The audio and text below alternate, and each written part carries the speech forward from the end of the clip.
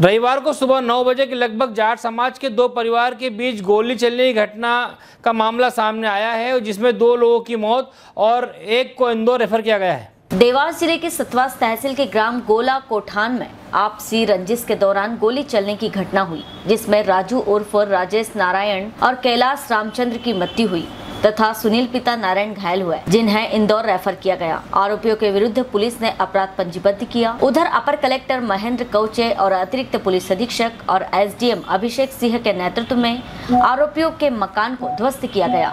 इस मौके पर पूरे गाँव में पुलिस बल तैनात किया गया था। तत्पश्चात गाँव वालों द्वारा मृतकों का अंतिम संस्कार किया गया। कन्नौज से कमल गर्ग राही की रिपोर्ट। घटना हुई, उस पर क्या कहेंगे आप, सतवास की?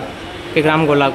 आज थाना सतवास के गुला गुठान गाँव में सुबह तकरीबन आठ बजे दो पक्षों के बीच में पुरानी बात को लेकर के कोई विवाद हुआ था जिसमें एक पक्ष द्वारा लाठी डंडे और बंदूक से लेस होकर के दूसरे पक्ष के ऊपर हमला किया गया जिसमें दो लोगों की मृत्यु हुई है और एक व्यक्ति घायल हो गया है। आरोपियों को अभी तक गिरफ्तारी हुई कि नहीं?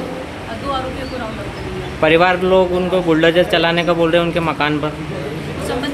से बात की जा रही है और विधि अनुसार उसमें कार्रवाई की जाएगी आगे। ठीक है आगे और कुछ मैम कार्रवाई? आगे एफ़ आई आर इसमें लिखबद्ध की जा चुकी है और अन्य साक्ष्यों का संकलन करके विधि संगत कार्रवाई आगे की मृतकों के परिजनों को आपने अभी तक क्या अनुभव दिया आश्वासन? उनसे हमारी बात हुई है और उनको पूरी तरीके से आश्वासन दिया गया है। पुलिस और प्रशासन उनके साथ में है और हर संभव मदद उनकी की जाएगी। मैम बताया जा रहा है इनका पिछला रिकॉर्ड भी आरोपियों का खराब था। हाँ अभी तक मेरी जानकारी के अनुसार आरोपियों का पूर्व का भी अपराध है और उस आपराधिक रिकॉर्ड को भी केस डायरी के साथ में हम संलग्न करके उसको भी माननीय न्यायालय में पेश करेंगे। ठीक है। हेलो फ्रेंड्स आप देख रहे हैं हमारा channel S W twenty four news हमारे सारे वीडियो सबसे पहले देखने के लिए आप हमारे चैनल को सब्सक्राइब करें और पास में लगे बेल आइकन को दबाना बिल्कुल भी ना भूलें।